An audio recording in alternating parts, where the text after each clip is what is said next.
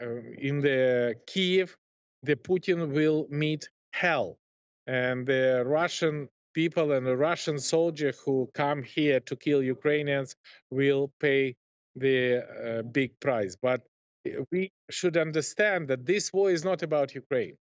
This war is about you, our dear, dear partners, about the West, about free world, because everybody know nobody knows where tomorrow will appear Putin. And, and uh, this is his understanding of the world order.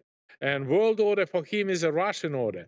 And uh, no nation can feel themselves in the security if uh, they have a, a, Putin as his neighbor.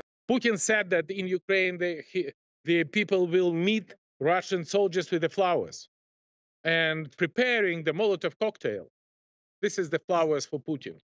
And definitely, this is our soil. This is our country.